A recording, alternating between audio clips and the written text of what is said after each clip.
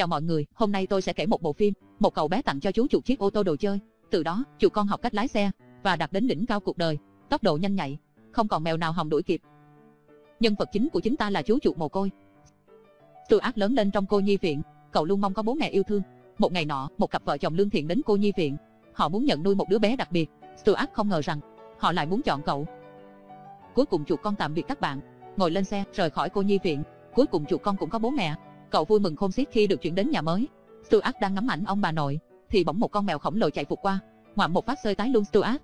Frederick lập tức nói với Snowbell, sau này Stuart sẽ là chủ nhân của nó, không chỉ không được ăn thịt nó mà còn phải nghe lời nó. Chà, Snowbell đờ người ra. Lúc này, cậu con ra George về đến nhà, cậu nhìn chú chuột bố mẹ mới nhận nuôi, trong lòng thấy vô cùng buồn bã. Khi ăn cơm, chuột con có chỗ ngồi riêng, khi đi ngủ, Stuart cũng có căn phòng riêng của mình. Cuối cùng không cần ở trong hang chuột nữa rồi. Với chuột con mà nói, đây đúng là hạnh phúc vô bờ bến. Đợi chủ nhân ngủ say, Snowbell lẻn vào phòng chuột con, nó hù dọa Stuart. Tại sao chủ con được ngủ trên giường, còn nó chỉ được ngủ dưới đất? Nobel kêu Stuart mau cút về cô nhi viện đi, bằng không cẩn thận cái mạng quèn mày đấy. Sáng hôm sau, Stuart và George thức dậy, vợ chồng Frederick chuẩn bị đồ dùng riêng cho chủ con. Cơ mà, cái bàn chải này hơi to quá đấy.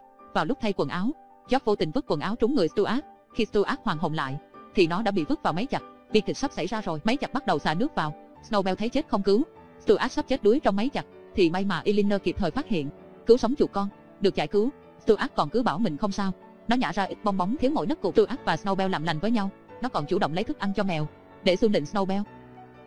Nhưng Monty bạn Snowbell đã cười nắc nẻ khi biết rằng chủ nhân của bạn mình là một con chuột. Snowbell mất hết thể diện, nó thề phải đuổi Stuart ra khỏi nhà. Trong lúc bị rượt đuổi, Stuart lao vào phòng đồ chơi.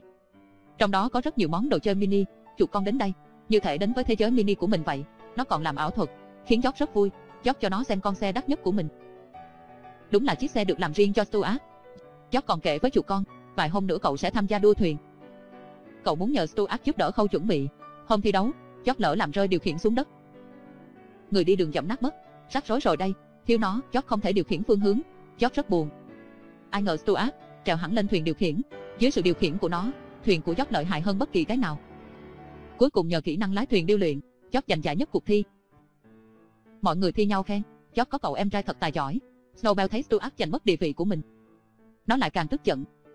Để đuổi bỏ Stuart, Snowbell đến tìm đại ca mèo. Vài ngày sau, có hai con chuột đến gõ cửa nhà chó Bọn họ nói dối mình là bố mẹ Stuart đến để nhận lại Stuart. Sau một hồi ăn chầu uống chực, chúng đòi đưa Stuart đi. Frederick cảm thấy vợ chồng chuột nói không sai. Dù gì Stuart cũng không phải con người.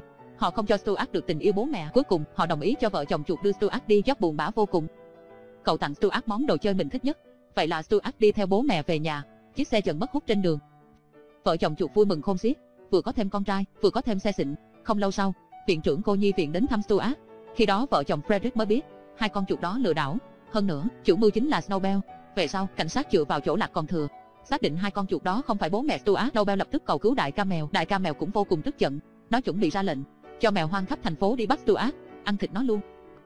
Con chuột giả mạo bố Stuart biết tin, liền động lòng trắc ẩn. Nói cho Stuart biết sự thật, bọn họ bị đại ca mèo ép buộc, nên mới giả làm bố mẹ Stuart, chứ họ chẳng phải bố mẹ ruột của cậu. Cuối cùng, họ thả Stuart đi, hơn nữa còn trả nó con xe ô tô. Stuart lái xe đi tìm vợ chồng Frederick khắp nơi, ngoài đường đâu đâu cũng có mèo hoang. Chưa về được đến nhà, chủ con đã đụng độ chúng, nhưng không cần sợ, chờ Stuart là tay lái điêu luyện rồi. Mấy con mèo không tài nào đuổi kịp, đúng là quá đỉnh. Tiếc là cuối cùng Stuart lao xuống ống cống ô tô bị cuốn trôi mất. Khi Stuart về đến nhà, gia đình Frederick đang đi tìm nó khắp nơi. Snowbell nói dối rằng gia đình họ chẳng hề yêu Stuart. Stuart nghe vậy, tâm trạng đang vui vẻ biến thành đau buồn, chẳng biết là nó bỏ đi đâu. Snowbell thấy rất buồn bã. Cuối cùng nó không nỡ nói dối Stuart nữa. Vào lúc đám mèo hoang chuẩn bị bắt Stuart đi, Snowbell đến tìm chuột con, giả vờ ăn thịt nó, thực ra là đưa Stuart bỏ trốn. Cuối phim, Snowbell tìm lại lương tâm, đưa chuột con về nhà. George cũng được gặp lại em trai mình, cả gia đình và Snowbell sống hạnh phúc bên nhau. Đây là một bộ phim rất hay, chuột con vừa thông minh vừa tốt bụng, quá là đáng yêu.